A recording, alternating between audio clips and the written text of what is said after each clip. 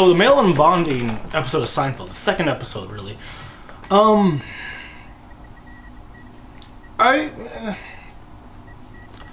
I liked it. It's just again, it's not, I don't think it's really something that pulled me in. I can definitely see things solidifying more with this. Um, one one of the major things was that like the whole set has been was redesigned and it's kind of the set that you see as the story progresses. You know, um, I know the pilot episode had a completely different diner. Jerry's apartment was layered differently, and so kind of seeing that now, you know, it's just it's like again, it's interesting to see how things change as um, a series or a show progresses.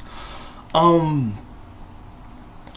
one thing, it's like I don't feel like Kramer at this point has been really like initiated into like a main cast. He feels like more of a like a side. Like he feels like more of a side character rather than one of the main cast.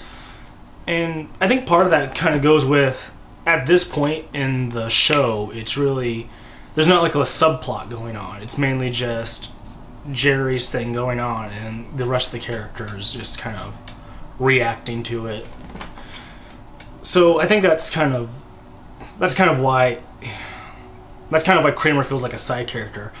George less so because he's interacting mostly with Jerry and he's kind of giving his whole input on the whole thing.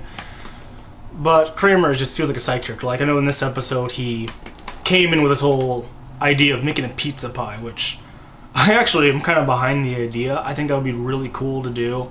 I think the one of I think what would be really cool is if you did that as like a team building exercise. You know, you have like you have your group of people and you come in. You know, you need to build up your team or strengthen your teamwork, and you make your own pizza.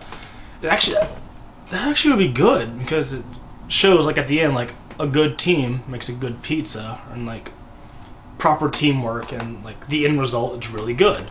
I think that would be a really cool idea and I'm surprised nobody's really capitalized or even tried that. I mean, I'm pretty sure somebody has at some point. This show's like 20 years old. I'm pretty sure somebody in the span of this time would have done that. But uh, I like the make your own pizza pie idea.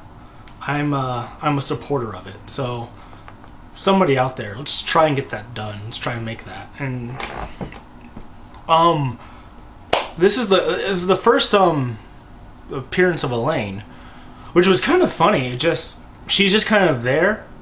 She kind of appears there, which I don't, I don't know. Like, and and they kind of like introduce like the character a bit more. You know, Kramer comes in and calls her Elaine. Um, they explain how they ex- they explain how um she and Jerry like broke up. We're still friends. That was it. Just seemed really uh, I don't know, kind of shoot in.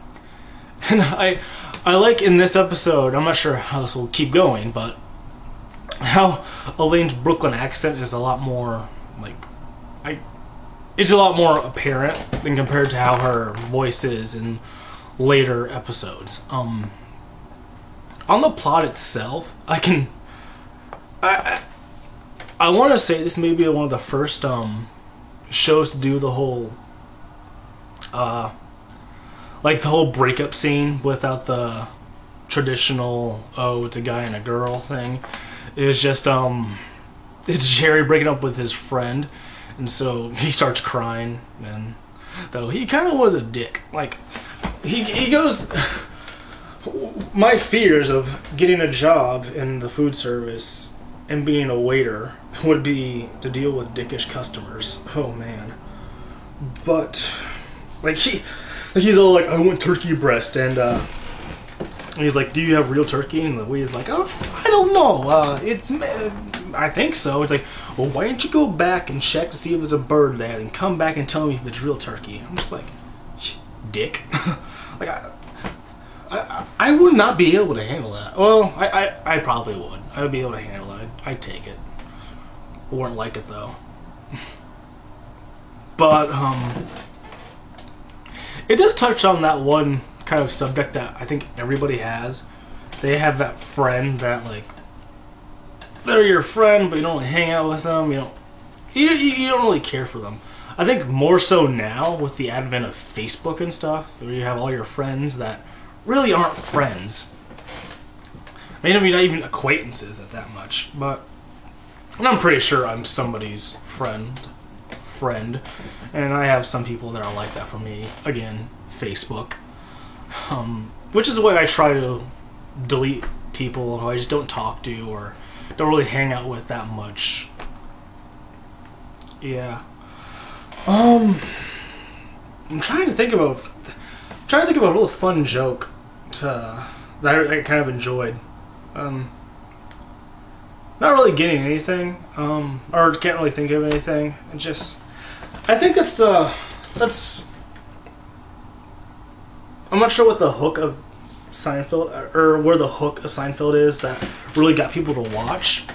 I think maybe I think it's maybe that kind of that element of that people can relate to it that they're going through this but the issue it's the show about nothing and so the issues like the characters deal with are kind of very common issues and so I think everybody else can relate to that because it may not have been fun I, I may not have found a lot of funny material in this episode but I definitely enjoyed watching it so that's really my thoughts on the second episode of Seinfeld but um, yeah, that's it. Nothing more I can really add. Um, looking forward to next episode. See you later.